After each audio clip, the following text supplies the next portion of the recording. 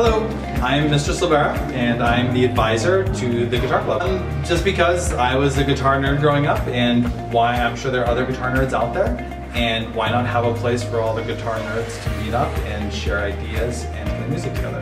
Um, I play guitar mainly, and I dabble in ukulele and the bass, but guitar is my instrument of choice. Okay. I play drums, bass, guitar, and a lot of other weird instruments like jaw harp. keyboards, guitar, bass, and saxophone. A little bit of drums, but not a lot. Guitar and saxophone. Guitar. Guitar, Bass. electric guitar, ukulele. I play guitar.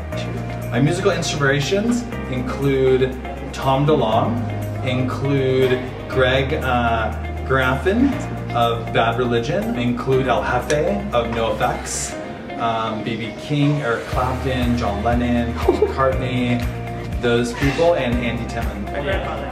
He plays a lot of music, traditional music, traditional Portuguese music. So uh, I love the way he plays, so it made me want to play the guitar more.